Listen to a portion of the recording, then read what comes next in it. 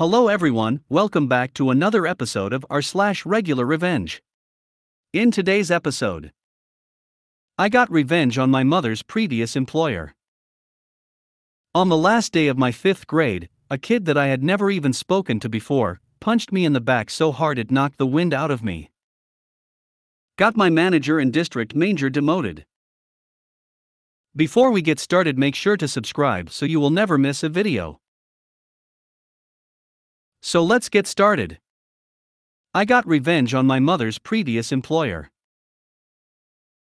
So last year during pandemic my mother was working in a private school. The staff was very friendly and cheerful in the school, but the thing that S asterisk cared about the school was that the owner of the school was pretty big businessman, and he never gave an appointment letter to any employees, and he used this thing to his advantage last year by reducing the salaries of all the employees that joined the school last year by 80%. My mother was in this group, and since there was no written proof of their original salary, all the employees had to accept this BS, and since my family had a debt, and we really needed the money, the year was going rough for us. Every employee who raised their voice were immediately fired, and whoever tried to take matter to court were dumbstruck because, according to school, they never worked there.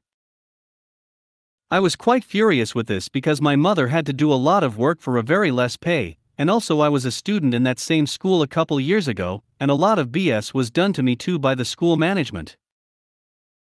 The revenge I was learning to do graphic designing, and I started doing freelance work on Upwork, and soon I landed a pretty good project that paid me a good money with which my family's debt was reduced by almost 50%. And then at the start of the second term of the school, which was a pretty busy time for the school, I told my mother to give in her resignation since there was no appointment letter or agreement. Any employee could also quit at any point of time without giving a notice.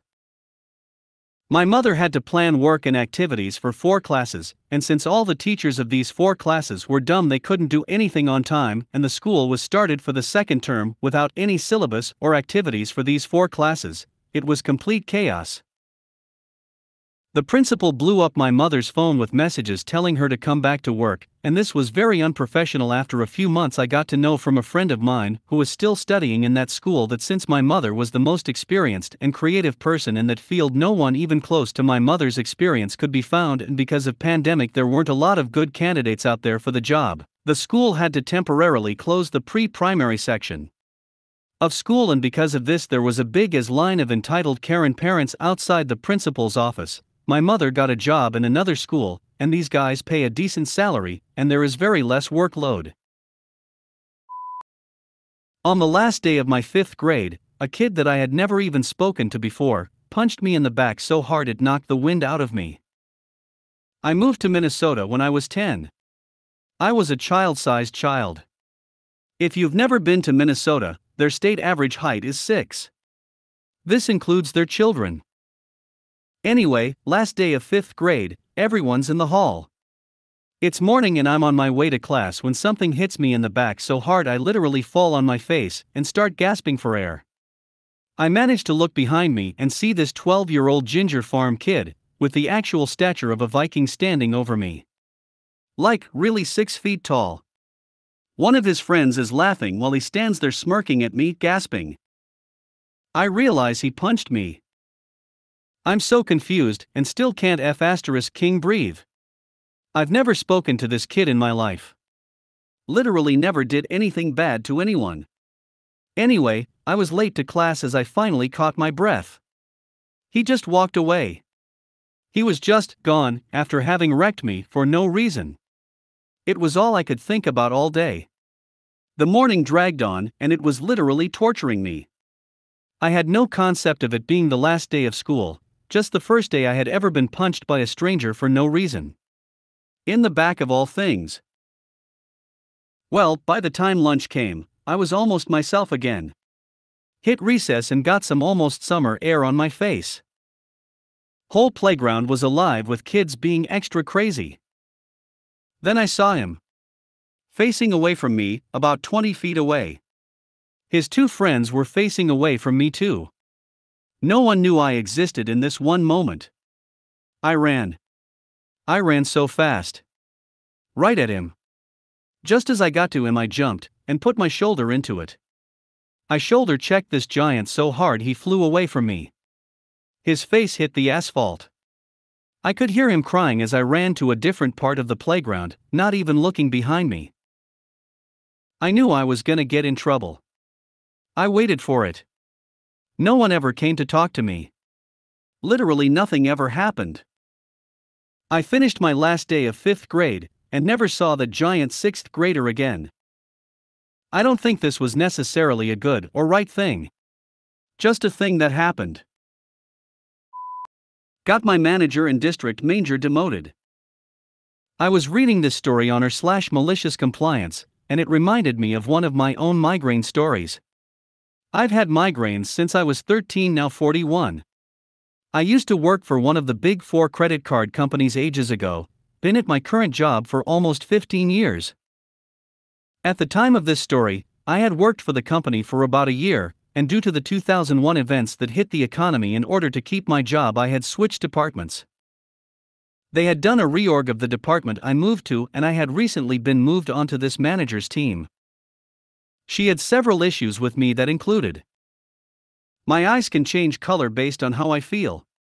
My eyes may not always be the same color. I am a 42H and she was barely an A. I qualified for FMLA, she had been declined due to repeated fraud. I ended up handling all TTY calls and relay calls for the center due to previous training, and they didn't have to train someone else on the TTY machine. So both number 1 and number 2 on my list freaked her out. She didn't like that she could leave my desk, come back an hour later, and I might have had blue eyes, but now they were gray or green or multicolored. I actually got colored contacts to help with this, but I stopped giving a hot after I discovered more about her attitude and would wear multiple colors on purpose or clear because her comfort no longer was my concern. Now on to number 3. I have been at least a DDD since middle school, and at the time was a 38F. Anyone who has a large chest knows there is no hiding cleavage, and that you deal with it as best you can. I'm not getting into bra sizes massively, but the brand I wear uses cup sizes of barely AA, barely B, C, D, DD, DDD, DDDD, EF, etc. sizing in cups. I think if I was to try to use the equivalent of VS sizing, I'd be a J or K if they carried them. I am not someone who flaunts it, but I also don't hide it either. I am modest and never go to work in a shirt that is inappropriate. I know she told me that flaunting my boobs was inappropriate, and that I must have gotten enhancement as there was no way they were real, they were slash R. I suspect she was jealous, but this is 100% speculation as I never heard her say anything about it. I do know that there were many rumors around that department that she was not eligible for breast enhancement surgery. If I didn't wear a turtleneck, this manager would try to write me up for being out of the dress code. The DM was manager's best friend and signed off on all write ups. I would refuse to sign these and turn around and go to HR asking if my outfit was inappropriate, and when they said no, I would hand them the write up and go back to work. Skipping 4 and 5 for a minute. Number 6 was the funniest reason for me. Anyone who has handled TTY or relay calls knows there are specific phrases you use to identify to the other party that you are finished and they are able to resume their discussion. GA, go ahead, slash SK, stop keyboard. You also try to condense messages to be shorter and more concise when possible, but don't treat it like text messaging with several short messages in quick succession. The other part was ensuring that we validated the client and shared information accordingly. The manager got upset that she couldn't let her pets do TTY as when she had tried previously, the company had gotten complaints. They either didn't verify or wouldn't give them information in relay calls as they felt the client should be talking and not an intermediary. So, company policy was that unless they were trained on the TTY slash relay line, they couldn't handle the calls. The company required 20 hours of training and tests to ensure that it was handled properly. Not having to train someone in TTY protocol was a bonus for the department as I had been trained in my previous department. Number 4 and number 5 occurred when I would call in with a migraine. I had FMLA, so there was no way she could decline the time off as long as I was within my requirements, which I always was, and my absence couldn't affect team stats due to company policy. As mentioned, the manager had been declined FLMA as she had her brother, who was a doctor, try to write up migraine FMLA for her, but he wrote up missing up to 18 days a month for mild migraines. In order for the company to accept her diagnosis due to the excessive absences allowed by the PCP, they made her go to other doctors who wouldn't diagnose her with migraines. This is something a company could do if they paid for the additional doctors. I do know the details on this for certain as she had brought it up several times, and was the reason I had to go through additional diagnoses, including two CAT scans and three MRIs to verify the diagnosis for my migraines.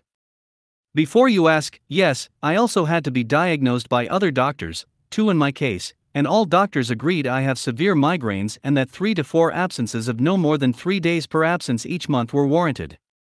Also, I hope no one ever has to do a CAT scan or MRI with a migraine. It's torture. Here is where I have to say I don't know if this last part is still the case as my current job hasn't made me certify for FMLA, and has been amazing to work with, so I've not really kept up in FMLA laws and changes since getting this job. I do glance every couple of years, however, I am not as up on the laws as I probably should be. My treatments included a controlled substance, so I legally couldn't drive when I took this medication as it would be a DUI if I got in an accident or got pulled over after taking it. One day I called in and she started yelling at me about how I was ruining the team stats by being out so much. I told her that I couldn't legally drive, and I wasn't coming in. She told me if I didn't come into work in the next 30 minutes, I would be written up for insubordination. I told her, well, if I hit a kid on the way, and what am I supposed to tell the cops? That my boss told me I had to break the law? Before you ask, I didn't go to work. I wasn't about to put myself or anyone else in danger. I did get written up the next day for insubordination, and that also went to HR. My husband, who also worked for the company, had recorded the conversation as I had put it on speaker, and he provided this recording to HR for me. Things like this continued daily for almost six months, at which point the stress caused Maine to lose my voice. I sought ENT specialists who couldn't find any reason for the voice loss apart from the stress. I was able to do the TTY calls, so hadn't been out, but hadn't been able to do any phone calls. I had also been continuing to get daily write ups for not taking calls that I physically couldn't take. The voice loss has actually been a continuing issue since that when under heavy stress, I will lose my voice for several days. After five weeks of voicelessness, HR called me into their office. The FMLA call in above was close to when I lost my voice, maybe two to three weeks before, but the best example of her abuse of power as a manager and what prompted the investigation as it had been recorded. There was a huge paper trail due to all the write ups I had provided and signed to HR. The DM had signed off on every write up by this manager even when she hadn't reported to the DM, so that is why they included the DM. HR had called me in to let me know I had an interview with another department as that was the only way they could get me out of the department, and all I had to do was show up to get the job. They felt that I was in a position where my health and the company were at risk of me suing them if I remained in my current position. I transferred departments, and about a week afterward, my voice started to come back. I ended up leaving this company about two years later due to the fact that, due to repeated FMLA fraud in the company, I ended up having to recertify my leave two to three times a month, basically anytime I took any leave. FMLA leave is good for up to six months, and employers can only request recertification if leave is extended beyond what is in the initial certification. Mine was always written up for the six month maximum. I was brought in for a follow up several months after changing departments a second time and told the results of the investigation. Both the manager and district manager in the previous department had been found at fault for harassment and inappropriate write ups, especially in regards to FMLA leave. They had been demoted to phone reps in that department. I found out from a friend in the old department that both quit shortly after, and they complained openly about the pay decrease they got with demotion.